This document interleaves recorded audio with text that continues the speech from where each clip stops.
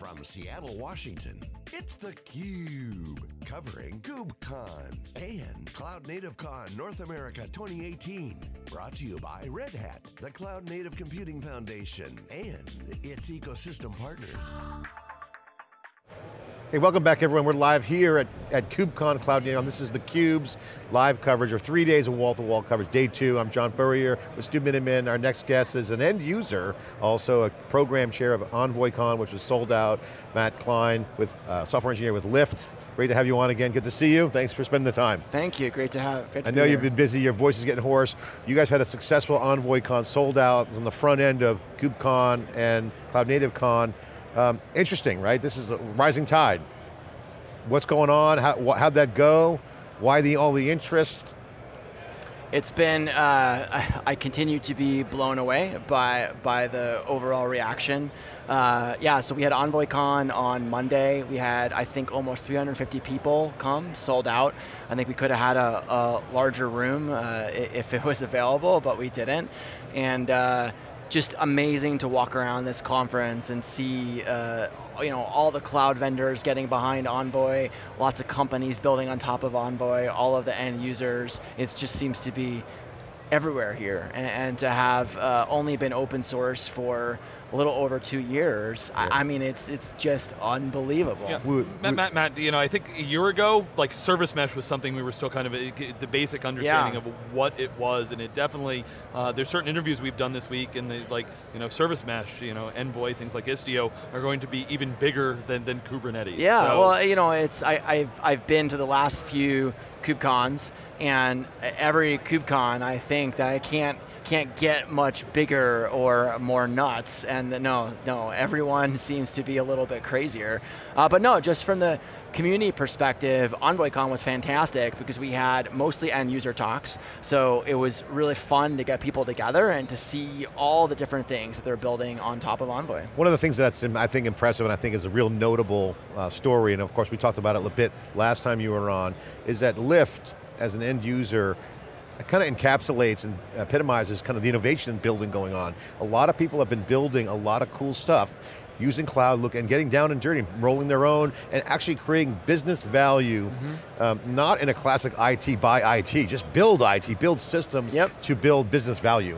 And then donating it in to scale up with the community is pretty notable. So congratulations on that. Thanks. Now you have startups kind of acting the same way. So the line between vendor and end user is certainly changing. I mean, this is, we need more end users on. Well, they're all kind of yeah. end users. So this is a dynamic that is, I think, notable for this generation. And, and it's, and, and it's, it's real. Talk yep. about that dynamic because I think uh, this is a real success story, but also sure. a trend in the industry. Yeah, you know, so I, I, I think for us, um, what, what's fun for me about not only building Envoy, but seeing how it's evolved is, is really what, what you said, is that uh, I like solving like actual problems for people, right? And you know, I, I we can have different opinions on uh, you know what the different vendors are doing. Of course, there's lots of people doing different things, but for me, at least working at a company like Lyft, it's super fun to be able to build technology that solves specific problems that the business is actually happening. Now, if something becomes successful, sure, we're going to see a lot of vendors come in and hopefully build products that can help help other folks. Um, the, the way that I look at it, and this has been an interesting evolution for me over the last year, is I would say a year ago, you know, uh, people would come to me and say, hey Matt, you know, I've heard about Envoy, like I would like to use it to help solve some problems, and I went to the website and I'm like, I don't understand it, right? Like it's too complicated to use, the, the documentation is not good enough. And I think over the last year, my thinking has evolved a little bit in the sense that we've seen so many people or end users or companies build fantastic products on top of Envoy, and I think one of the reasons that Envoy has become so successful is that it's a, it's a building block that other people can come and add vertical value. So whether that's um, you know, a more sophisticated internet company like Lyft, or a vendor or a cloud vendor. I think that's what has made the community so successful is that we can build this base thing and it's yeah. amazing, but then we can allow people to add vertical value. And, and, that's an interesting dynamic of both cloud and open source. You look at Amazon, one of the, the most successful public cloud, their core building blocks was EC2 and S3 originally. Yep. Open source is about building on top of yep. other things. So yeah. again, the dynamic between open source and cloud scale is really kind of the magic. Well, and and just in terms of you know how how we actually go through and I think fund some of these projects ends up being very interesting, right? So just in, in the sense that. Uh, you know, we have a lot of full-time people working on Envoy, and they're working on it actually for different reasons. We have people that are working on it as end users.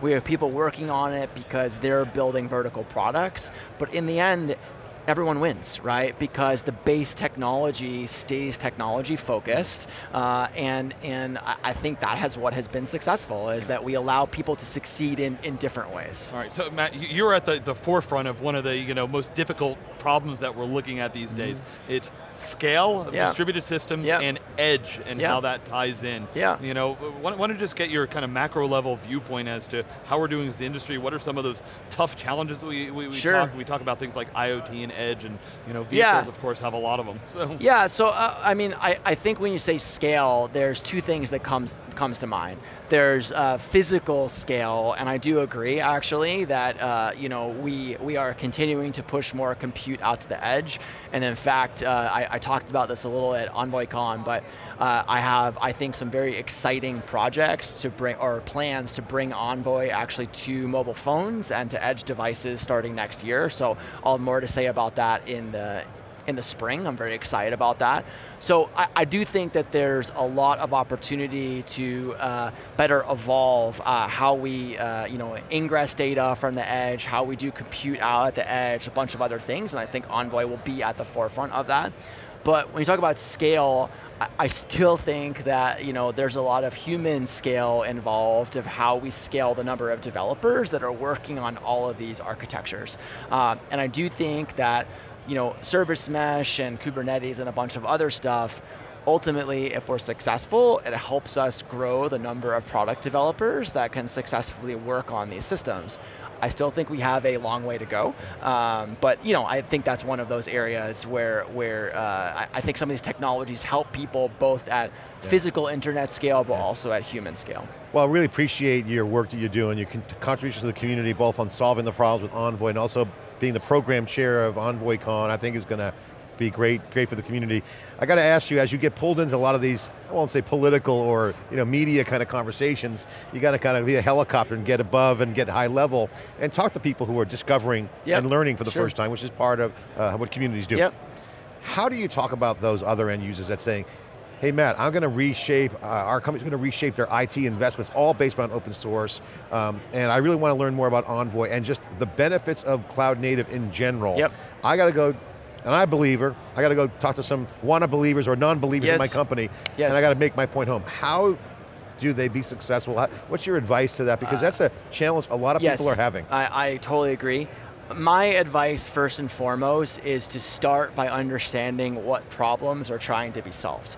And I, and I, I, actually think that sounds very obvious, but I think that people don't do it enough because I think sometimes we come to conferences like this and we see all the amazing technology that, that people are building and it seems fantastic, but if one uh, tries to adopt everything that they see here without understanding the incremental steps and, and you know the things that are that are or the problems that are being solved, yeah. uh, that can be very problematic. It's a new kind of technical debt. Right. It's kind so, of a new way to. So my, my advice is to start with what what are the actual problems, right? And whether that be observability issues or uh, authentication issues or security issues or whatever, is to start with the problems and then work backwards. And my advice is always incremental, no, no big bang, right?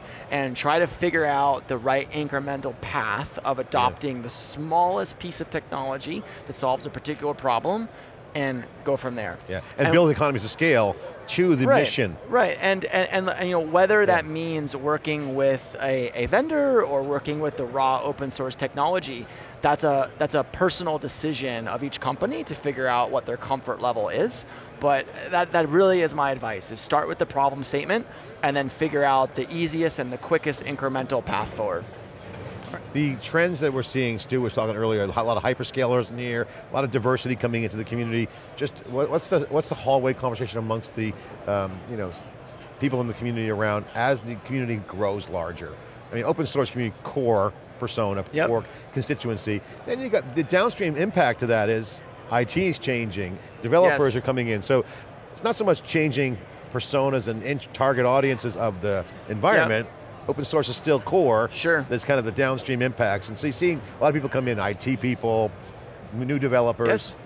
How does the community look at that? What's your view on how to engage but also not alienate uh, uh, well, new people? I, I, mean, I think ultimately, uh, like we are attempting to build systems that help people be successful and be more productive, right? And I think the natural evolution of that is uh, bringing some of this technology into the enterprise we have to recognize that as the community scales, uh, the baseline level of knowledge is, is, different. I mean, we all come at it with, with different uh, understanding of whether it be networking or orchestration or, or yeah, security.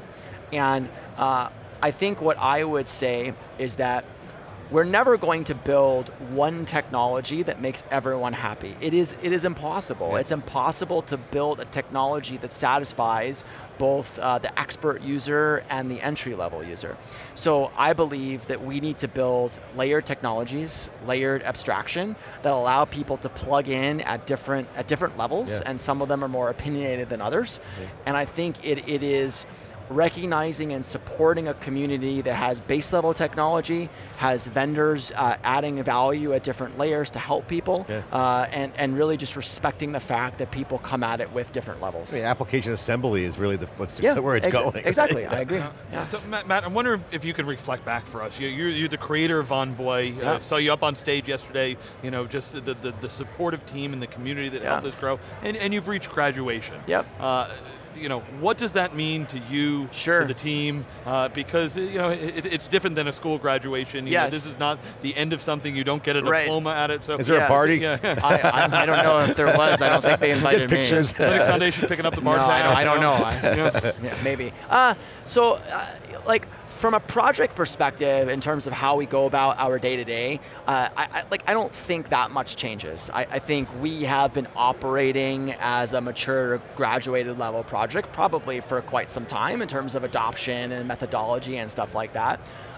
I think what graduation uh, means for the project is it's a, it's a vote of respect from the larger industry and the community that Envoy isn't going to disappear. It's not going to become an abandoned project on GitHub if, for example, Lyft stops investing in it. I think we've reached a critical mass of project success. And I think what that means is that it, it allows uh, folks that may be at more conservative organizations, like uh, who may be a little later to adopt newer technologies, to give them the confidence that says that Envoy is not going to disappear, that we can uh, potentially bet some of our, uh, you know, um, some of our future on, on, on, Envoy. So I think it's a vote of confidence. Uh, I don't think it changes a lot about how we operate on a day-to-day -day basis. Matt, thanks for coming on theCUBE, and again, congratulations seminal work, you guys are doing great, and Lyft is really, I think, a great example of the new dynamic in open source where they're building and they're working with the community to continue to extend that, and this is what we want. That's what open source is all about. It is. So congratulations. And we have a graduation party for Envoy. We'll figure it out, bit photos and pictures and everything else. Thanks for coming on theCUBE. Cool, thank Appreciate you very much. It. Okay, CUBE coverage here live. I'm John Furrier. Let's do many more coverage after this short break. Stay with us.